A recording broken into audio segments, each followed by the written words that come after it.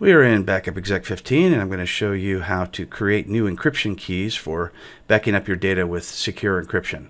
So let's go ahead and click in the upper left hand corner and click on Configuration and Settings, Backup Exec Settings. And scroll down to where it says Simplified, I'm sorry, scroll down to where it says Network and Security and then click on Manage Keys.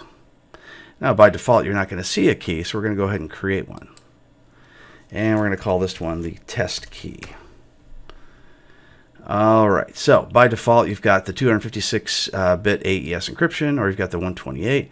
The 256 requires a longer passphrase. It has to be at least 16 characters. So let's just go ahead and type in.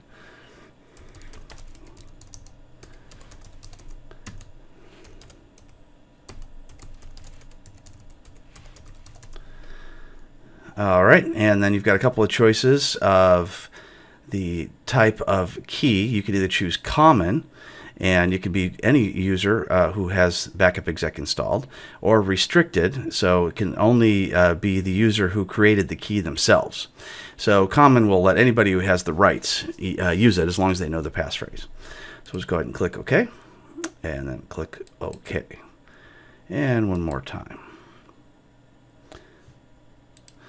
All right, so now that is how you create a uh, an encryption key in Backup Exec 15. If you want to go back to see the encryption keys, it's you just go back to the exact same place, and we'll go back to Network and Security, Manage Keys, and then you can add keys, delete keys, replace keys, anything you want to do at that point.